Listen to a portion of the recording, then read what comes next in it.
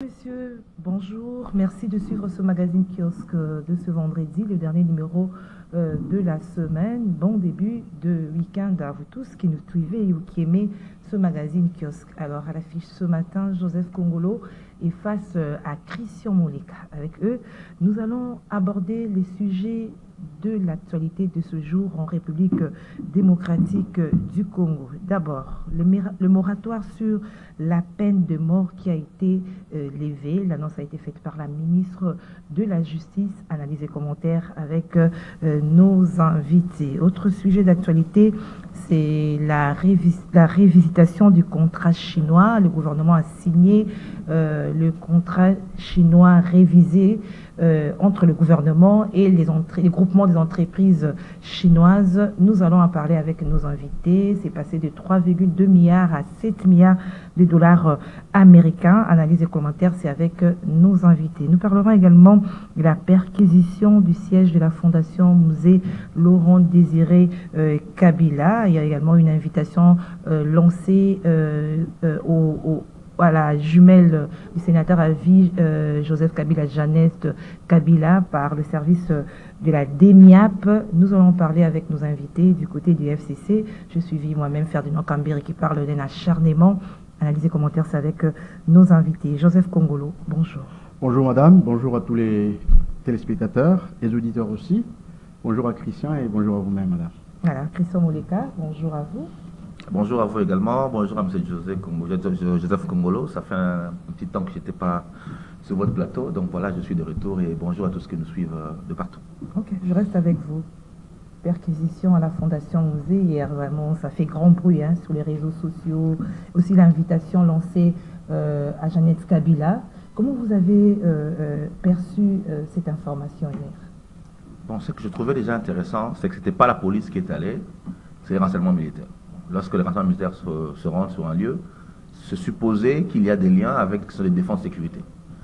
Et donc, euh, on peut, on peut euh, sans, sans, vouloir spéculer trop, s'imaginer qu'il y a des liens probables avec euh, ce qui se fait récemment, à savoir l'arrestation de Papi Pungu, le ralliement d'Adam Chaloué. Et donc, depuis que l'AFC a, été, a été créé avec Corneille Nanga, on sent une attention soutenue euh, des renseignements militaires dans la famille politique du, de, l'ancien sénateur.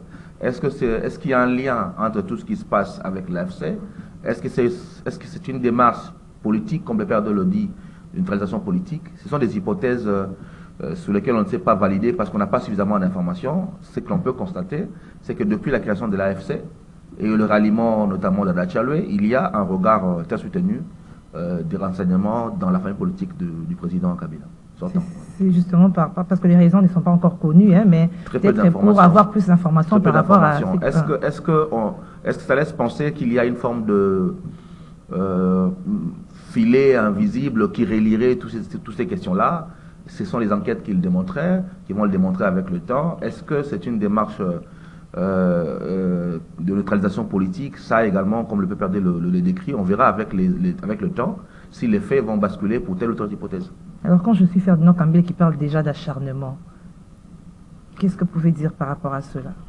En tant que politique, euh, nous avons les éléments, euh, je dirais, du politique. On n'a pas les éléments du sécuritaire. C'est vrai qu'il y a depuis 2021 et 2022 un clivage net politique entre le PPRD et l'Union sacrée. Mais là, nous sommes dans les questions sécuritaires. Ce clivage sécuritaire sont-ils politiques ou les clivages sécuritaires sont-ils liés à des questions de défense sécurité? Vous voyez, comment faire la passerelle entre les clivages politiques les clivages sécuritaires Ça dépendra des éléments en, disposition. Je n'en ai pas suffisamment pour aller sur ce terrain-là, mais je constate quand même qu'il y a à la fois un, regard soutenu politiquement sur le PPRD qui a refusé d'aller au scrutin et qui est resté, et un regard sécuritairement soutenu que l'on semble rapprocher sur des questions de l'AFC. Est-ce qu'il y a des passerelles politiques et sécuritaires? Ça, on ne sait pas affirmer, tant qu'on n'a pas suffisamment d'éléments. Ok, on parle même du véhicule qui, a transporté le corps de Mouzé, hein, qui a été euh, perquisitionné. Alors, euh, Joseph Congolo, quel, est, euh, quel regard vous portez par rapport à, à cette information? Bon, d'abord, nous sommes en temps de guerre, ce qui fait qu'il y a une catégorie d'informations qu'il faudra vérifier à la source, n'est-ce pas? Comme Christian l'a dit tout à l'heure, nous sommes dans le domaine purement sécuritaire où nous avons très peu d'informations. Mais toutefois, quand on est en temps de guerre, madame, il n'y a pas de paria. Il n'y a pas d'homme exceptionnel. Quand il y a un soupçon, n'est-ce pas, qui pèse sur quelqu'un, quelle que soit l'autorité, quel que soit le rang social que vous avez, je crois que les services peuvent venir perquisitionner pour se rendre compte si l'information, le renseignement reçu est correct ou pas. Euh, ce qu'il faut euh, refuser, ce sont des abus. Quand il y a perquisition, euh, ce sont des perquisitions qui sont, je crois, codifiées, je pense bien. Donc on ne peut pas commettre des abus non plus. Mais bon, c'est pas parce qu'on est la sœur jumelle de Kabila, s'il y a une information malencontreuse qui touche à la sécurité de l'État, je crois que c'est tout à fait normal qu'on fasse une perquisition. Donc c'est normal, mais alors il faut, éviter les abus. Ça c'est la première chose. Deuxièmement, vous savez que dans l'entendement populaire, on a toujours euh, tenté d'associer un peu euh, le M23 euh, à tout ce qui est lié à, l'AFDEL. Voyez-vous? AFDEL, RCD, CNDP, c'est comme si c'était une même chaîne, ce sont les maillons d'une même chaîne. Alors très souvent, cette tendance-là, parfois ça peut donner lieu à des fausses informations qui amènent les services de renseignement à faire des perquisitions, voyez-vous? Euh, bon, comme on l'a dit là, est-ce qu'il y a-t-il des liens précis entre l'AFC, entre l'AM23 et tous ceux qui subissent, n'est-ce pas, euh, les, perquisitions Nous ne savons pas. Je crois que c'est après, après un temps, nous saurons peut-être une information précise. Mais la DEMIAP, la même chose, la DEMIAP n'est pas faite pour, euh, pour les non-politiques. C'est-à-dire que, que soyez politique ou pas, s'il y a des soupçons qui pèsent sur vous en rapport avec la sécurité de l'État, je crois qu'il n'y a pas de tabou, on, vous entend. Et si vous tombez dans le filet, on vous arrête. Si vous ne tombez pas dans le filet, on, vous libère. Donc je, crois que on n'a pas euh, vraiment de raison de grossir l'événement, n'est-ce pas? Euh, Ce serait plutôt euh, sage d'attendre et d'observer, voir ce qui va venir après. Sinon, il n'y a rien d'acharnement contre la famille Kabila. Bon, écoutez, comme Christian l'a dit, nous sommes en politique. Vous savez que quand on est allé dégager les voix du côté de GLM, on a dit qu'il y avait acharnement. Pourtant, c'était des voies qui existaient depuis très longtemps et qui empêchaient la bonne circulation des, personnes et des biens. On a parlé d'acharnement, on a parlé d'intimidation, voyez-vous Donc ça, c'est un discours purement politicien, pour moi, c'est un discours politicien. Serait-il mieux d'observer Jeannette euh, est du bord, est du même bord que Cambéré. Donc c'est peut-être sur elle, après, après l'audience auprès du service de DENIAP, on pouvait se faire une idée sur le contenu, n'est-ce pas de l'accusation qui lui est portée. Donc je crois que c'est un peu trop tôt de parler d'acharnement. Euh, attendons voir ce que ça va donner et peut-être on aura un peu une précision sur euh, le contenu. mais sur les réseaux sociaux, on s'interroge sur la réaction de Joseph Kabila. Non, mais est-ce qu'on a touché à Joseph Kabila? Est-ce qu'on a touché à Joseph s'interroger sur ça. Ah, donc vous l'avez dit, quand on touche à Jeannette, on touche à Kabila, c'est ça? La famille, c'est sa jumelle. Oh non, madame, écoutez, ce sont des responsables, ce sont des gens qui ont occupé des responsabilités dans ce pays. Ce sont deux personnes distinctes n'est-ce pas? Et, puis, euh, bon, moi je ne suis pas d'accord avec ça, euh, parce qu'on le fait pour d'autres personnes, on ne va pas y flamber sur euh, la toile. Je crois que laissons, laissons faire les choses, et peut-être par la suite on aura un contenu un peu plus précis qui pourra faire l'objet d'un débat. Voilà, puisqu'on a, on parle sécurité, il y a le moratoire sur la peine de mort qui a été levé, il faut dire enfin. Alors, qu'est-ce que vous pensez de cette décision, Christian Monica? Je suis assez partagé euh, sur cette décision-là. Elle est nécessaire dans les cadres de la guerre. Parce que euh, nous avons des cas euh, assez avérés de trahison au niveau de l'armée. Et ce moratoire peut servir d'élément dissuasif. Parce que quand vous avez une sorte de, de, patriotisme, d'affairisme et, peut-être de, de duplicité la question sécuritaire, la menace de la mort, qui est une menace irréversible, peut dissuader certains et peut servir de, garde-fou. Maintenant, euh, dans le contexte de notre pays, ça peut être une porte totalement ouverte vers des abus. Parce que quand vous voyez le moratoire, on est passé de la sécurité à la lutte contre le phénomène Koulouna et le banditisme urbain. Ça veut dire qu'on va appliquer non pas dans un contexte uniquement de guerre, mais également dans un contexte qui est un contexte urbain, à savoir lutte contre l'insécurité, banditisme urbain.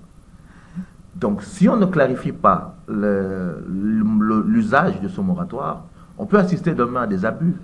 Rappelez-vous, il y a, il y a quelques temps, tout le monde a décrié euh, l'opération Likofi, qui avait également euh, avait une finalité de régler euh, par, la, par la voie de, feu le phénomène Koulouna.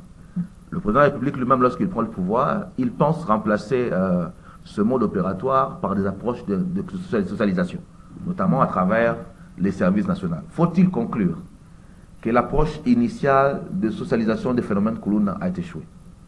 Parce que quand on commence à prendre comme euh, solution à la problématique Koulouna le retour de la peine de mort, moi ça m'inquiète. Parce que euh, je, pense qu'on peut, on peut très facilement tomber dans, dans les abus pour cette question-là. Il y a il y a besoin de fermeté, il y a besoin de présence accrue de l'État, pas uniquement au niveau euh, d'en haut, mais au niveau le plus bas, l'État par le bas. Il y a besoin d'inclusion de ces jeunes par l'emploi ou par le sport, et que la solution ultime de la peine de mort doit être la solution ultime, et pas la solution a priori pour régler le phénomène Koulouna. Ça, c'est particulièrement pour les mais, avec le service national, vous, l'avez, vous venez de le dire, apparemment, ça n'a rien changé. Le, phénomène que n'a plus, encore de. Moi, je, moi, je ne suis pas partisan de, de cette approche d'inclusion par le service national, qui est d'ailleurs pratiquement un service paramilitaire. Mais prenez un peu dans... Moi, je suis de Kimanseka, je suis de Tchang. Si vous allez à Tchang, vous avez une jeunesse très importante qui a le potentiel pour le sport le potentiel pour le sport. Et quand je parle du sport, je parle du sport de combat.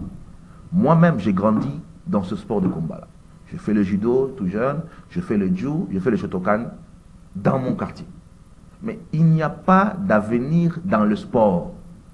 Tous ces jeunes qui font le sport n'ont pas des déversoirs. Ils vont aller où? Ceux qui font le sport du combat. Le ministère du sport chez nous, c'est le ministère du football il n'y a pas de moyen de créer des modèles sociaux à partir du sport. Si vous regardez des pays, euh, les, pays que nous envions, la France par exemple, vous avez un Teddy Runner. Est-ce que vous imaginez comment un Teddy Runner de Kimbanseke peut servir de modèle pour d'autres jeunes? Un simple jeune qui fait le judo, qui est un très bon judoka, que la République a récupéré, un peu comme Nancy Chabwa, notre modèle de karaté chez les dames, qui peut servir de modèle pour d'autres jeunes, qui peut servir d'élément d'insertion pour d'autres jeunes. Ça, il n'y a pas de solution. Nous sommes uniquement dans le répressif et dans le répressif dur. J'ai parlé plus d'une fois ici sur euh, la petite territoriale, apprenant les chefs des rues. Mais les Kouloun habitent nos rues. L'État n'est pas présent dans les rues. Est-ce qu'en mettant la, peine des morts, on sait comment chez nous parfois on fait les razzias, la police descend, on ramasse euh, tout ce qui présente, un profil euh, de l'homme criminel, à savoir locks, tatouage, jeans, sale, on arrête, on amène et puis voilà. Après, il y a le tri. Après, on oui, mais, oui. mais c'est pourquoi je vous dis que pour la problématique du couloir notamment, moi je suis assez euh, dubitatif sur l'option de la peine de mort pour régler le problème. Il y a des moyens plus inclusifs à utiliser et l'ultime solution peut être celui-là.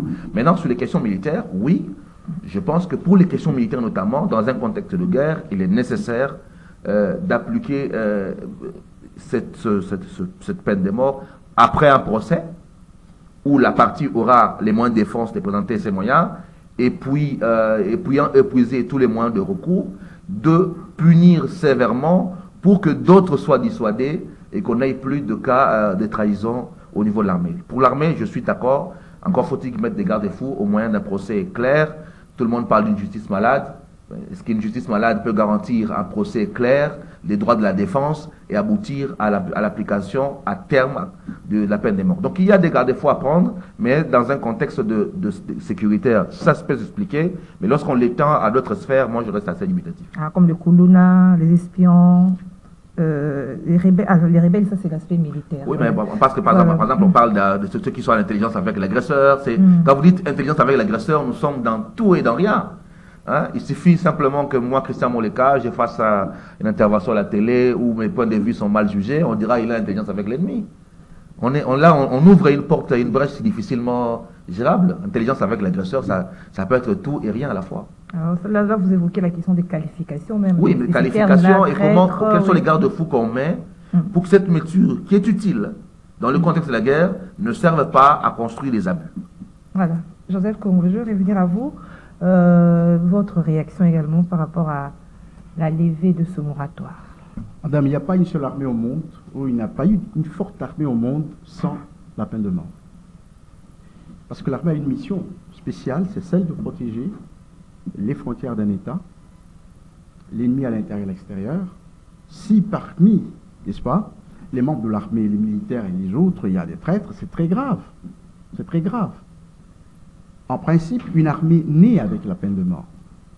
Donc ce moratoire qui a été euh, mis sur, euh, sur l'armée, je crois que c'était aussi une erreur grave. C'était une erreur grave. Vous pouvez lever le moratoire, comme, enfin, vous pouvez euh, prendre un moratoire comme on l'avait fait, mais pas dans l'armée. Dans l'armée, ça doit arrêter parce que la discipline tient aussi de cette dissuasion-là. Vous ne pouvez pas. Donc aujourd'hui, on les. C'est en 2023 qu'on a placé ce moratoire. Non, c'était bien avant. C'est 2023. Non, non, c'est bien avant. Bien avant, oui. Oui, longtemps d'ailleurs. Moi, je crois que euh, c'est une très bonne chose que dans l'armée, la peine de mort reste comme dissuasive, n'est-ce pas, pour, si vous voulez bien, renfrogner la discipline de l'armée. Parce qu'il n'y a pas d'armée sans discipline. Et entre autres, la trahison, l'espionnage et tout ça, ce sont, pas, ce sont des fautes graves. Ce sont des fautes graves, au-delà même de la discipline. Voyez-vous? Donc, euh, je pense que dans l'armée, euh, ils ont fait une très bonne chose. Mais alors, il faudra alors préciser, je crois qu'il faut, il faut y avoir une loi qui doit mettre des limites, n'est-ce pas, sur cette, dans l'application de cette loi. Je crois qu'il y a une mesure d'encadrement ou euh, quelque chose comme ça. Et là, je suis totalement d'accord. Mais je suis en train de comprendre une chose à travers cette loi, c'est que quand vous voyez les matières sur lesquelles, n'est-ce pas, c'est appliquée la peine de mort, vous comprenez que c'est une levée de moratoire juste pour la dissuasion.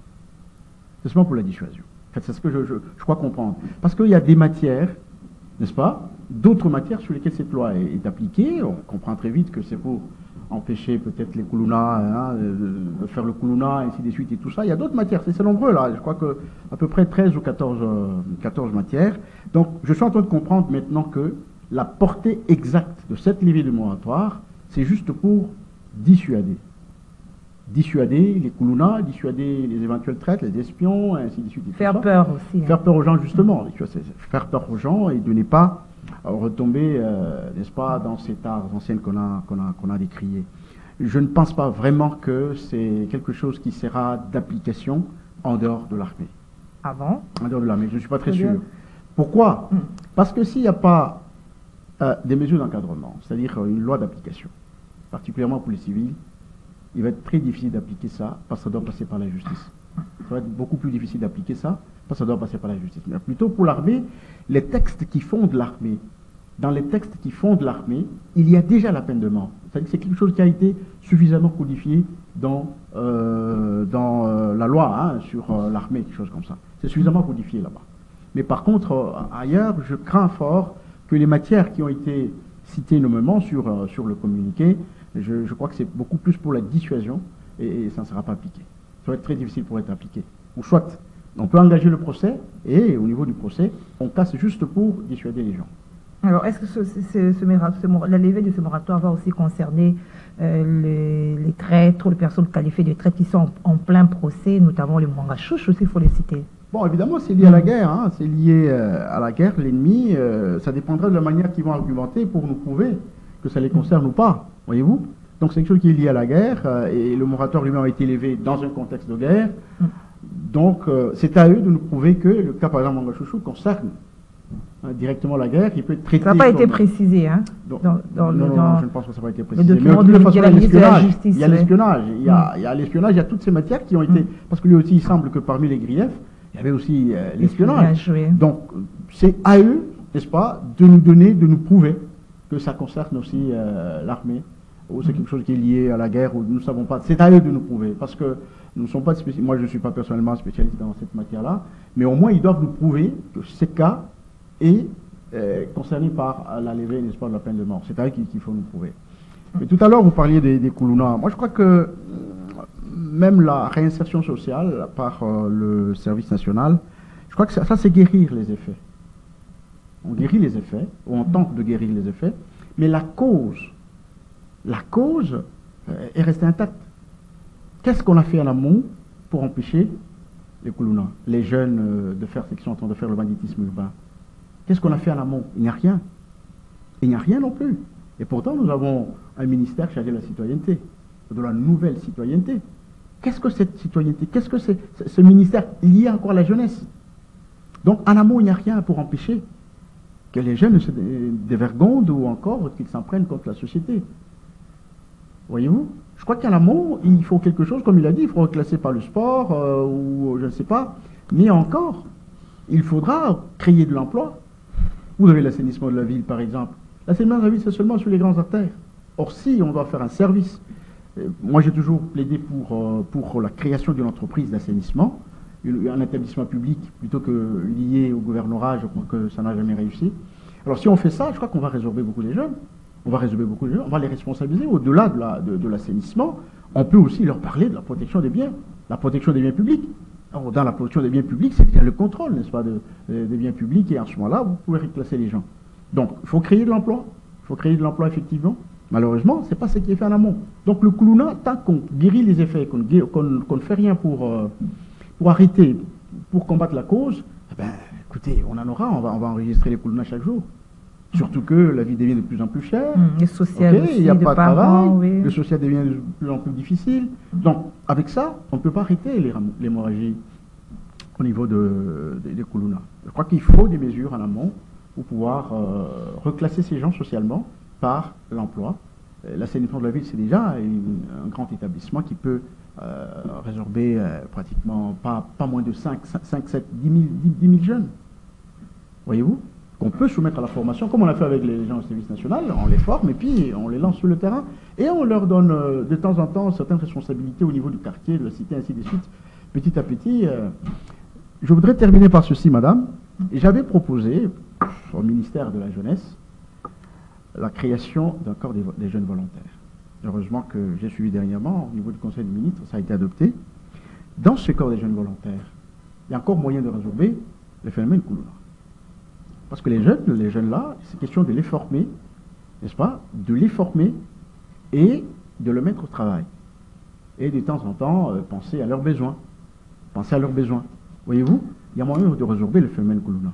Donc, si alors on produit des textes, on produit des initiatives et qu'on ne sait pas les appliquer, ça devient beaucoup plus compliqué. Je crois qu'il y, a moyen toujours de résorber ce phénomène que de passer par euh, la peine de mort. L'application des lois, il vient de l'évoquer, il y a des lois, des décisions prises par les autorités, mais qui souffrent d'application. Est-ce que cette fois-ci, euh, elle sera appliquée? Mais Le problème de, nos lois, c'est que parfois, on, vote des lois qui ne, qui ne touchent pas fondamentalement aux vraies causes du problème. Et c'est pour ça qu'à un moment donné, ça devient désuète. J'abonde dans ce que dit M. Jeff Congolo. Notre vrai problème pour, les Koulouna, c'est les politiques publiques. C'est les politiques publiques. Nous n'avons pas les politiques publiques d'insertion de la jeunesse. En tout cas, très peu de politiques publiques d'insertion. J'ai parlé du sport, on peut en parler des métiers. Kinshasa est connue comme la ville créative. Et les jeunes sont énormément créatifs. Mais comment on encadre les métiers? Nous avons un ministère de la formation professionnelle et des métiers. Comment on encadre le métier à Kinshasa? Il y a énormément de métiers que les jeunes font, mais qui ne trouvent pas d'encadrement public. On peut commencer par le métier le plus simple. Vous allez dans nos cités vous trouvez des jeunes qui fabriquent des marmites. Vous allez trouver des jeunes qui font euh, euh, la, menuiserie. Vous trouvez des jeunes qui sont dans ou qui conduisent des motos. Mais voyez comment nous-mêmes, nous, créons d'autres Koulouna quand un petit prend sa moto et qui se met à sortir, puis demain on l'arrête, on confisque la moto qui disparaît et il redevient chômeur. Mais ce petit qui devient chômeur, vous voulez qu'il fasse quoi? Comment on a fait pour ce qui est informel, la conduite des motos, qu'on formalise et qu'on encadre pour maintenir de l'emploi des jeunes, parce qu'ils conduisent des motos sont des jeunes. Au même moment, nous voulons lutter contre le Koulouna, au même moment, nous tuons les emplois des jeunes. Vous voyez que c'est contradictoire. C'est contradictoire qu'on mesure. On n'encadre pas, on, tue, on détruit, on, interdit. Nous, nous sommes davantage dans les politiques des répressifs. Interdiction, euh, fermeture, euh, ça c'est nous. Pas des politiques incitatives, encadrement, régulation poussée. Il faut qu'on sorte de cette façon de faire de la politique, à savoir interdire, euh, empêcher, arrêter, pour aller vers des politiques inciter, encourager, pousser, C'est ça aussi le, le rôle de l'État. Et malheureusement, les mesures qu'on prend, c'est toujours la même logique, interdire, empêcher, arrêter, et pas inciter, encourager, accompagner. Et donc si on est dans cette approche-là, on ne règle pas le problème. Parce que le problème, il est plus profond. Prenez par exemple la, ce qu'on appelle la cartographie des Koulouna. Les, les- les communes dites réservoirs des Koulouna. Si vous regardez ces communes-là, c'est les communes où il y a moins d'équipements en termes d'infrastructure, moins d'énergie électrique, euh, enclavement et jeunesse abondante. Vous prenez Kisenso. Tout le monde sait que c'est dans les érosions qu'il y a l'insécurité. Et Kitambo alors Parce que dans- Oui, mais si vous prenez Kitambo, vous allez prendre euh, quelle partie de. Kitambo? Vous allez prendre camp mobile, les camps militaires, vous allez prendre euh, euh, camp Luka. C'est ça que vous allez prendre. Vous n'allez pas prendre Jamaïque. En tout cas, Jamaïque, parce que c'est en contact avec, euh, avec camp Luka et, et les différents camps de militaires. Vous n'allez pas prendre euh, la, partie, euh, vous prenez le terrain, Vélodrome, euh, tous les quartiers là-bas, Loadi et tout le reste. Vous verrez, ce sont des jeunes qui viennent de loin, qui viennent de Makelele et qui montent. Mais c'est connu, non? Si vous n'équipez pas ces communes-là en électricité, parce que l'électricité crée de l'emploi, parce qu'il y a du courant, on peut créer, on peut mettre son petit jeu vidéo, on peut, on peut charger le téléphone, on peut mettre un, petit moulin, ça ne crée pas l'emploi. Qui n'a pas de courant. En tout cas, à part ceux qui sont dans les boulevards, quand vous entrez en profondeur, avez des quartiers énormes où il n'y a, pas de courant. Moi, je suis allé récemment, j'ai fait une vidéo où j'ai décrié l'insécurité dans les quartiers Maïngele.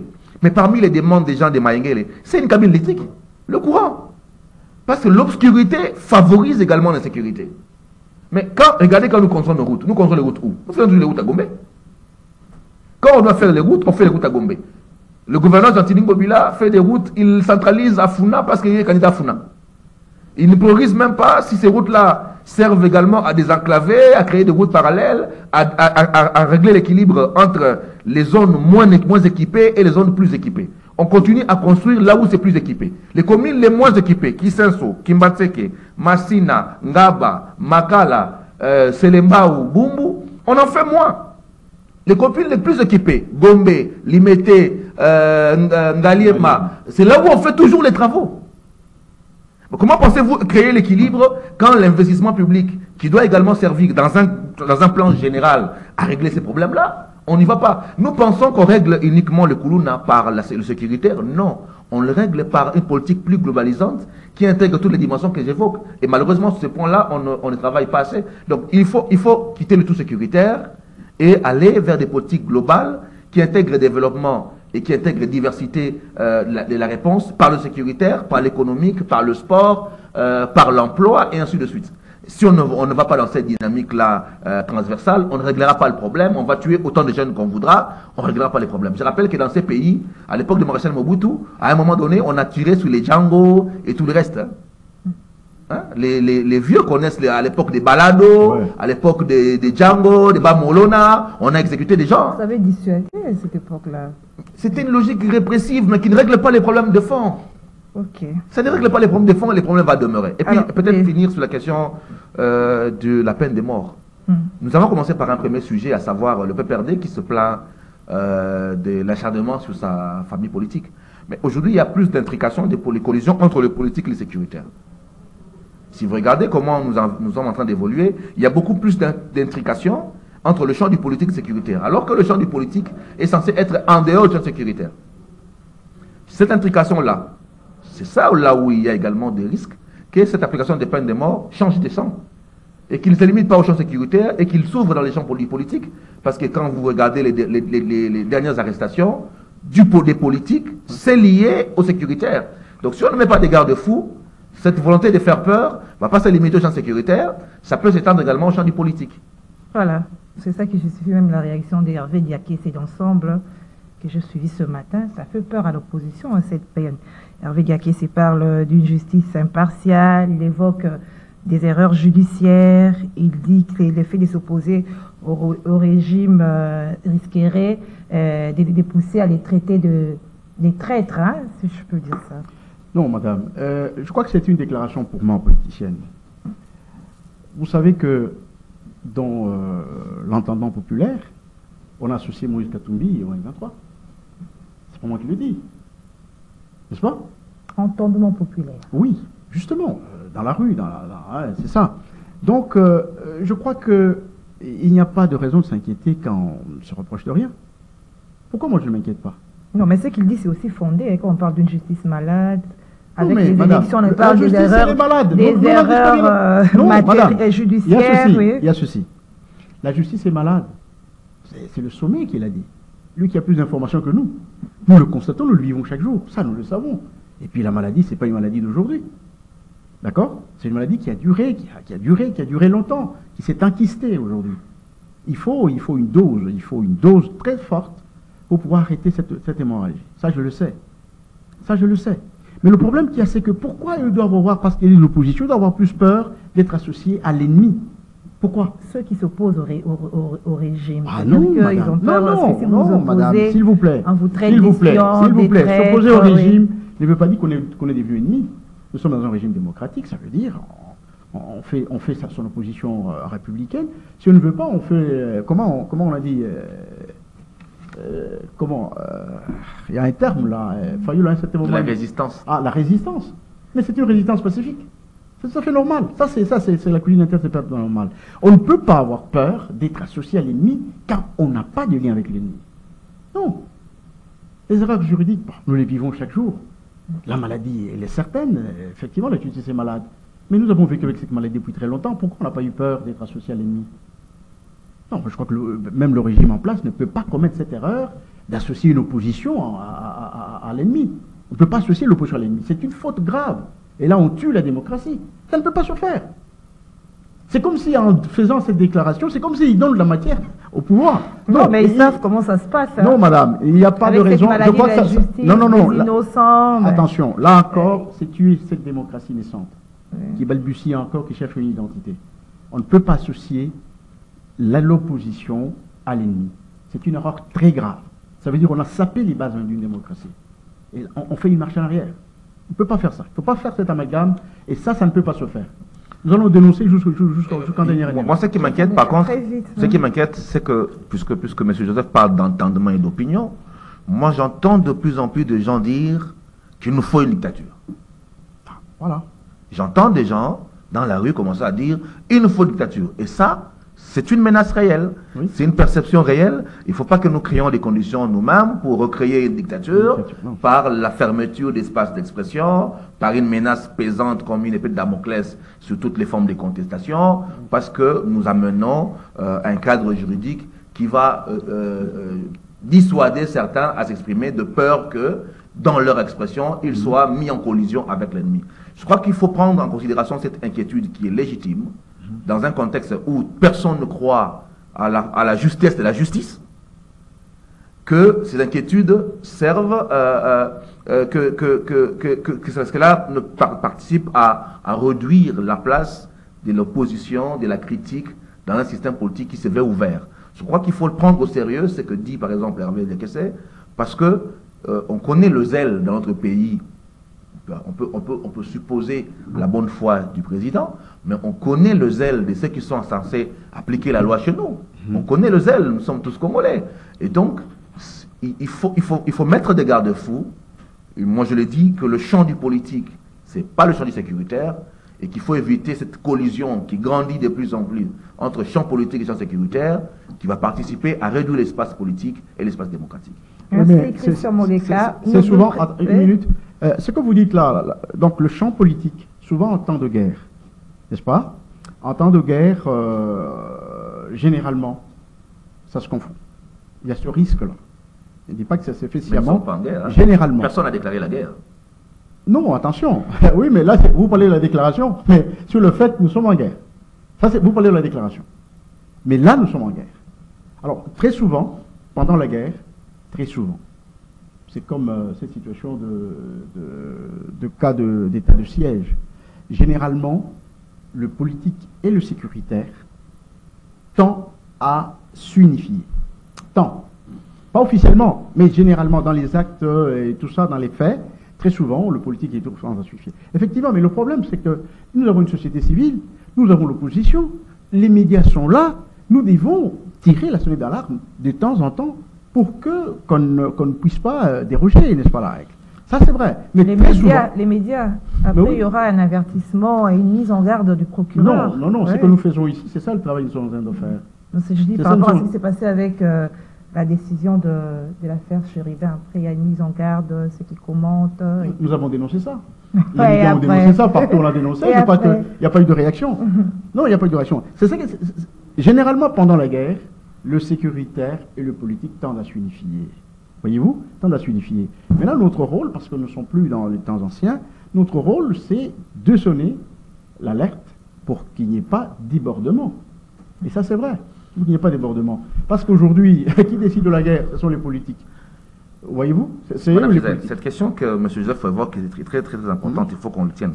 C'est justement pour ça que la Constitution a posé énormément de restrictions sur la déclaration de la guerre qui doit qui, un processus énorme, congrès, consultation, sur les mesures d'exception qui sont l'état des sièges qui doivent être contrôlées, validées dans un délai de temporalité très limité et qui se fait dans des conditions très limitées. Ouais. Et donc, généraliser cette limitation et cette exception à- au contexte du, moment, c'est très dangereux. Le pays n'est pas encore en guerre parce que le, commandant suprême n'a jamais déclaré l'état de guerre, n'a jamais euh, mis le pays en guerre. Nous sommes agressés, c'est le mot que le président utilise. Il ne dit jamais que nous sommes en guerre. Euh, il n'y a pas une mobilisation générale en, en termes de guerre. Donc, il ne faudrait pas qu'on commence déjà petit à petit à nous mettre dans un contexte psychologique qui ne correspond pas à ce que nous sommes aujourd'hui. Le pays est agressé, c'est le mot du président. Le pays est agressé. Nous répondons à une agression. Nous ne sommes pas en guerre. Nous sommes en guerre contre qui? Merci. Alors, euh, on attention, parle- on madame, parle de- Juste une minute, juste une minute. Renégociation du contrat Je chinois. veux bien. Je Oui. crois que Christian est un politique qui n'est pas juriste. C'est les juristes, très souvent, c'est ça leur maladie, hein, c'est dû à la formation. Ils aiment toujours s'attacher derrière la loi, alors que les faits précèdent la loi, généralement. Donc, sur le plan de fait, nous sommes en guerre. Qui n'est pas Sur le plan de fait. oui. J'ai dit bien sur le Sur plan de fait. Christian attend, pas, que le président suive le processus, n'est-ce pas, de déclaration de guerre. Alors que nous sommes déjà en guerre, nous perdons des, des- des hommes, de- des militaires, nous perdons les civils. Il y a, tout ça, c'est ça la guerre, Non, en non, réalité. non. Mais En tout sur cas, le plan de droit, sur le plan de droit. La s'il vous sémantique- plaît, la est importante. Madame, sur le plan de droit, n'êtes pas guerre. on attend, on attend. La sémantique est importante. Toute, nous, sommes, nous Attention, sommes- nous attention. sommes en conflit armé. Toute conflictualité n'est pas guerre. Sinon, vous allez nous dire que à, à, Pointe de Bateke, c'est une guerre? Non, nous sommes en conflit armé. Il y a des conflits armés au avez il y a des de conflits armés à. Bounia, il y a des conflits armés et c'est pas la guerre. Alors, la, la, la, la renégociation du contrat chinois. Le chef d'État a signé hier, a présidé la cérémonie. Qu'est-ce que vous pensez euh, de cela? C'était qui? Devrait avoir la parole? C'est une très bonne chose. C'est une très très bonne chose que, après le travail de l'IGF, il faut, il faut rappeler que c'est l'IGF qui a fait un travail en amont euh, d'évaluation du contrat. Et c'est ce travail de l'IGF qui a ramené tout le débat et la nécessité de revoir euh, le contrat. Les clauses, c'est une très bonne chose. J'ai suivi personnellement, j'ai- bon, c'est de- en ligne le, la signature hier. Euh, J'apprécie notamment le fait que 7 milliards soient mis euh, sur des projets routiers. On parle de 600 km lents, de connecter tout le pays. Euh, mais également euh, une, révision de la répartition des fonctions au fond des six communes, et également les, parts de l'État et des six communes, mais également les nombres d'années qui ont été revus. C'est une très bonne chose parce que ça permet à la République de regagner en termes d'intérêt euh, dans les négociations. Et je crois que il faut saluer cet effort-là. Et et peut-être si on doit se questionner, ce ne sera pas sur le contrat qui, de mon point de vue, c'est une bonne chose, c'est sur le volet euh, infrastructure. C'est la partie qui m'intéresse, moi personnellement. Euh, on a eu beaucoup de projets routiers depuis le début du mandat du président. On peut commencer par le projet 100 jours qui avait un volet routier, le Tilé-Gelou qui avait un projet routier, le 145 territoires qui a un projet routier. Est-ce que tous ces projets vont se lier avec le prochain financement de 7,5 milliards? S'ils vont pas se lier, comment euh, ce nouveau financement participe-t-il à intégrer euh, un, développement homogène? Parce que ces projets doivent en principe se construire de manière assez harmonieuse pour que le projet de développement rural que porte 145 territoires et de l'économie rurale, qui se construit sur les routes, euh, soit conforté par ce que fera euh, le, projet de ces communes, ou comment, par exemple, euh, la connectivité des grandes villes participe à diversifier l'économie, qui est un, pôle important du PNSD que le président a inauguré en début de mandat. Mon problème, c'est à ce niveau-là. Ça veut dire, nous avons des très bonnes intentions, mais en termes de planification, de connexion et euh, de, suivi, euh, mise en œuvre, nous avons de sérieux problèmes. Si vous avez suivi la partie chinoise lorsqu'ils ont commencé à, à défendre le, 5, le, le, le, le, contrat chinois, la problématique qui a été posée est celle des études de faisabilité. Le Congo est très faible en termes d'études de faisabilité. Donc on peut avoir le cash flow de 7 milliards. S'il n'y a pas des études, eh bien on ne finance pas. Donc si nous ne réglons pas de notre côté la problématique d'études de faisabilité, la, mise en œuvre des, des, projets, la clarification euh, de l'allocation de dépenses pour qu'on n'aille pas, comme dans tous les projets antérieurs, des histoires et des tournements, eh bien euh, ces 7 milliards ne serviront à rien à la fin. Parce que euh, nous avons des défis énormes en termes d'études de faisabilité. Et ça, c'est vraiment le défi que, de mon point de vue, le gouvernement doit prendre au sérieux. Parce que le 600 km de route, c'est bon. S'il n'y a pas des études de faisabilité pour ces projets de route, ces 600 km de route vont rester dans les tiroirs. Ah, Joseph Congolo. Oui. Euh... renégociation du contrat chinois. Au sens que cette fois-ci, il y aura équilibre, hein, parce que par rapport aux erreurs de 2018 sous Kabila lors de cette signature de ce contrat Non, d'abord, il faut déplorer que ce projet est vieux de, depuis 2008. Mm. Ce projet a été signé, cet accord a été signé. Très malheureusement, il n'a pas produit euh, des effets escomptés. Donc sur les 3 milliards, euh, on n'a eu que 822 millions de dollars dépensés dans les infrastructures. Voyez-vous? Euh, Si vous prenez par exemple la route qui va du pompage jusqu'à Lupin, la route que le président a inaugurée légèrement avant les élections. Hein, c'est une route qui était prévue en 2008.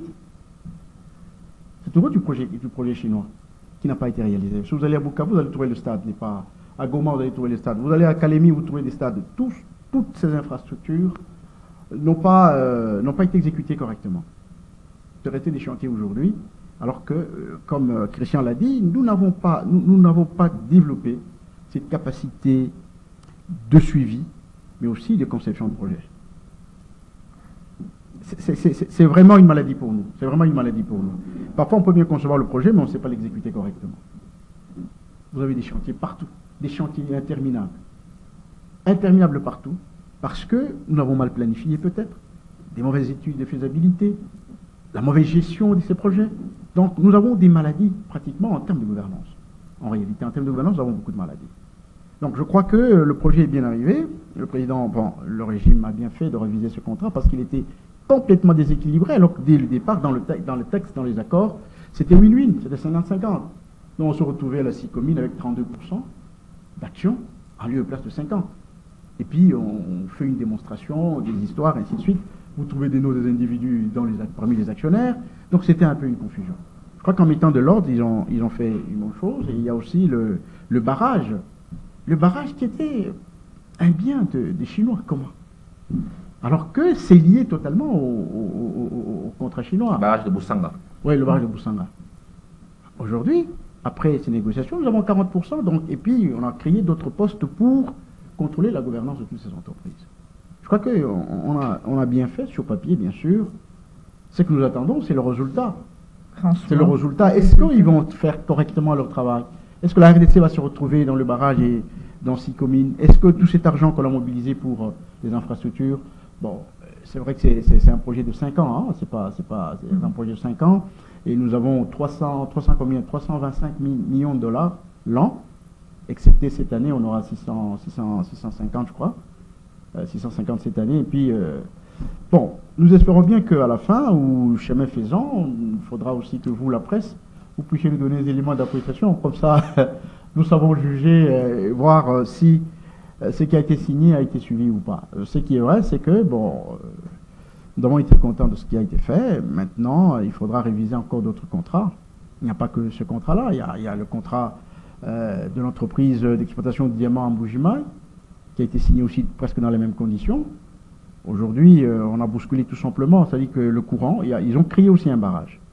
Mais ce barrage devait donner du courant à la ville. Ça n'avait jamais été fait. Voyez-vous? Donc aujourd'hui, je vois quand même euh, quelque chose qui a changé parce qu'on est en train de, fournir la ville de Mbujimaï en courant. Euh, je crois qu'il y a aussi l'hôpital du cinquantenaire euh, qui bénéficie hmm. aussi d'un statut, d'un accord très compliqué. Très, très, très compliqué. Nous ne savons pas. Bon, en principe, il faut revisiter. Par revoir, il faut d'abord revisiter. Parce que c'est un contrat très particulier. On ne sait pas exactement à qui appartient cet hôpital aujourd'hui Renégocier. Bon, d'abord revisiter et puis, euh, puis s'il y a des choses qui ne marchent pas, il faut... Euh, euh. Dans ce contrat qu'on a critiqué, qui a fait objet de- des enquêtes, il y a des détournements. Est-ce que cette fois-ci, on a mis de garde-fous face à tous ces détournements? Bon, euh, j'espère que la justice fera son travail. C'est vraiment un travail de la justice. En amont, hein Le- Et- et en aval, c'est ça, pas en amont. Oui, mais le problème, c'est que, vous savez, notre vrai problème, c'est euh, chaque pouvoir qui vient amène des contrats. On peut beau parler du contrat chinois qui du régime précédent. Demain, peut-être qu'on parlera du contrat avec les Turcs. Après, demain, on parlera d'autre chose. Chaque régime amène des contrats. Derrière les contrats, il y a des pas des portes. Et derrière les pas des portes, il y a des rétrocommissions. Et malheureusement, nous avons développé une culture où, les acteurs politiques cherchent des intérêts euh, personnels dans les positionnements des questions publiques. Et ça, il faut fondamentalement le régler. Si on ne le règle pas, ben, demain, euh, on aura peut-être dans les contrats turcs ou dans d'autres contrats des telles, des telles histoires qui vont revenir. On parlera toujours de renégocier, ce qui n'est pas non plus crédible pour un pays, parce que quand on signe un accord, on signe pour le faire appliquer. Et en termes d'image pour le pays, ce n'est pas non plus une très bonne image d'un État qui signe et qui renégocie, alors que les personnes qui ont signé engagent la République avec le statut. Donc c'est également l'image du pays qu'il faudra voir. Après, euh, la justice euh, doit faire son, son- travail, euh, d'aller jusqu'au bout. Moi, je pense qu'il faut également jeter un, un œil important sur la CGT, qui est une partie très importante dans, dans ce volet financier.